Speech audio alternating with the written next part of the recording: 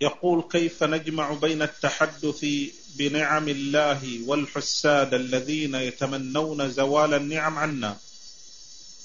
كيف إيش؟ كيف نجمع بين التحدث بنعم الله والحساد الذين يتمنون زوال النعم عنا؟ ما علينا من الحساد. نحن نتحدث بنعمة الله شكرا لله. قال تعالى وأما بنعمة ربك فحدث. والشكر ثلاثة أقسام. تحدث بها ظاهرا والاعتراف بها باطنا وصرفها في طاعة الله عز وجل. هذا شكر النعمة. فنحن ما علينا من الحساد نحن نشكر الله ونذكر النعم التي أعطانا ونثني عليه بها.